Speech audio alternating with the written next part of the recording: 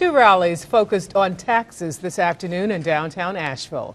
The liberal group Progress North Carolina began its tax hike truth tour.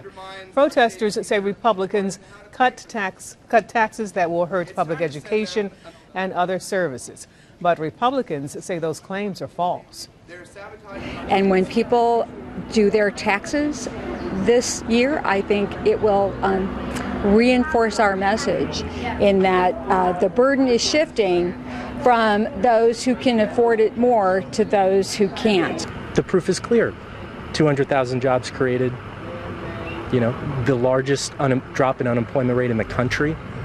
That's, that's, that's the Carolina comeback that they're doing everything possible to try and try and distract people from knowing the truth.